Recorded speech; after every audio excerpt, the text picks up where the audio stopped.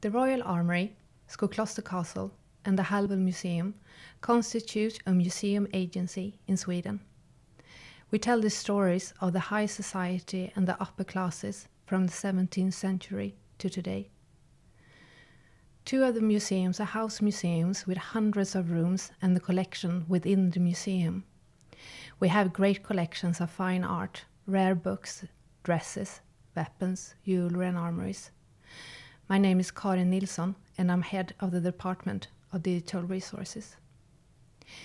We do have a lot of visitors to the museums, but we also know that most people in the world will never make it to the museums in Stockholm.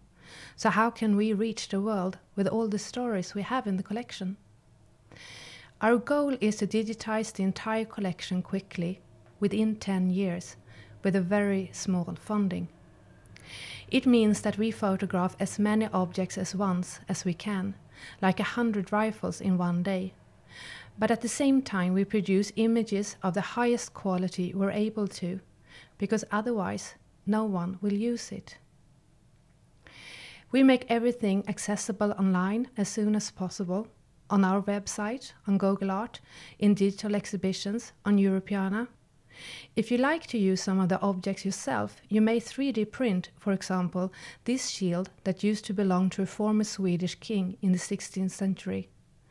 On this model, you're able to see details you will never be able to see in the space of the museum. The digital object can actually be more real than reality.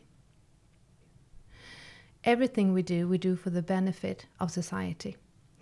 All the data we have in our systems, all of the images in the collection are licensed with open licenses and everyone can use them free of charge. The result is increased possibilities for the use and reuse of our material. For example, for children preparing schoolwork, for innovators building applications, or for researchers who can study objects closely through high resolution images. All of the images are also available on Wikimedia Commons in the highest quality possible. We do big exports of data from the collection management system so the images can be not only accessible but truly useful. Just in a few months, over 3 million people used the images and thousands of articles on Wikipedia in a lot of different languages use images from our collection. We want to keep our digital collection open, like when we restore paintings and we show what the painting really looked like beneath the surface. This is a preservation of a famous painting called The Librarian by Arcimboldo. It is located at Skokloster Castle. On these pictures, you can experience what the painting looked like before, during, and after the preservation. And it is an example of a process you can only get this close to in a digital world. The result is now displayed in a digital exhibition where people all over the world can be amazed at the details.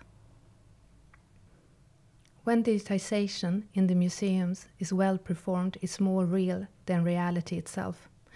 In the space of the physical museums, small rings are barely visible.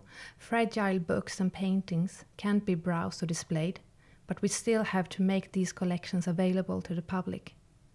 In recent years, we have made the digitization of the collections more efficient, but we have also improved the quality of the digitization. We hope that people around the world will benefit from our work.